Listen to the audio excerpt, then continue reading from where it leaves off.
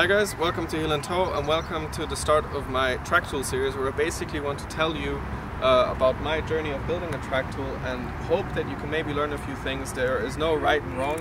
Um, I'm just going to try some things. I've already done a few things. Um, I'm going to just give you a quick walk around of my car and what I've done to it and what's to come. This is just going to be a quick walk around, the introduction. Future videos will be focusing on specific things such as suspension and brakes, engine, interior, all in separate videos. Um, so yeah, let's get started.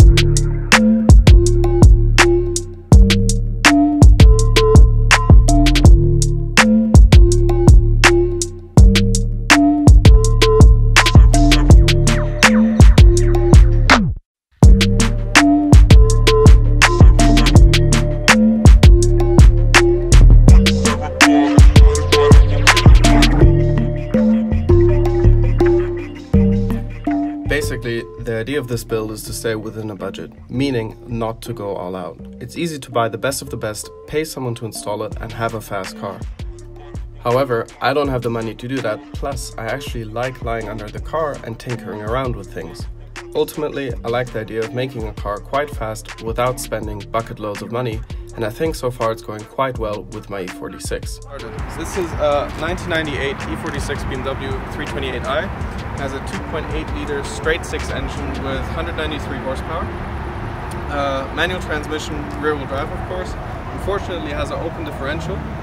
Um, the engine at the moment is completely stock. The suspension is a KW Variant 3 with Club Sport camber plates on top. Then we've got Eibach anti-roll bars front and rear. Uh, on the rear we have the subframe reinforcement kit from Epitech. We've got a different rear exhaust muffler which just helps for a bit with the sound. Let's go to the front axle.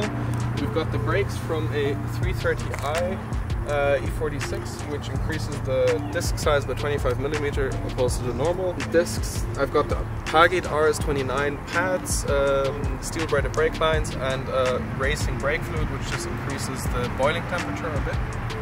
Tires are Michelin Pilot Sport Cup 2s, which I'm extremely happy with. A 225 45 17 square setup all the way around which makes it pretty affordable. This set actually cost me just under 500 euros, which is pretty good for a semi-slick tire.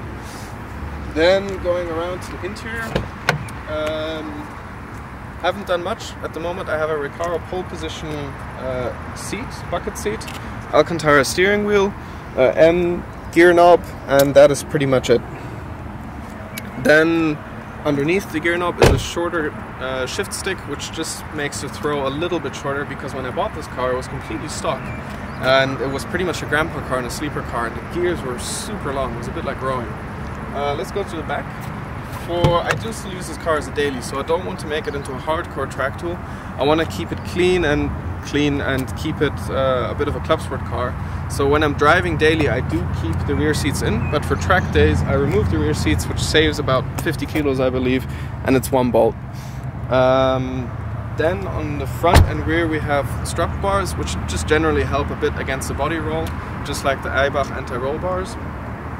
And otherwise, exterior is pretty much stock.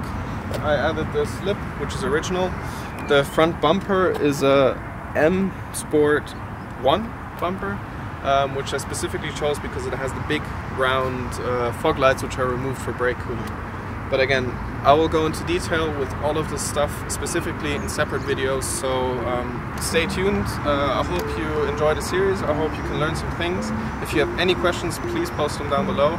I'll try to answer them in future videos.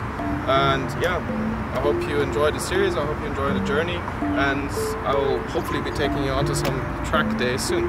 Thanks.